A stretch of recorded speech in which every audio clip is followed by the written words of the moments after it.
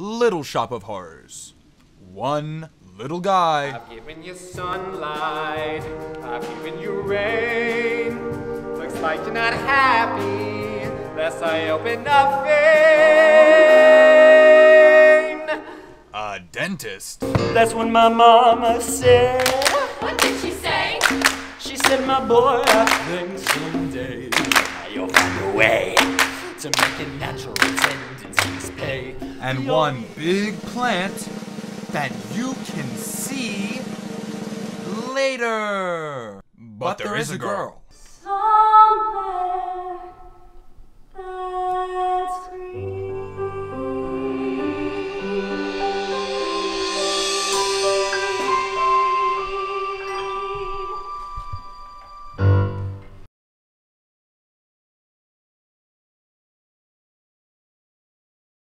One last question.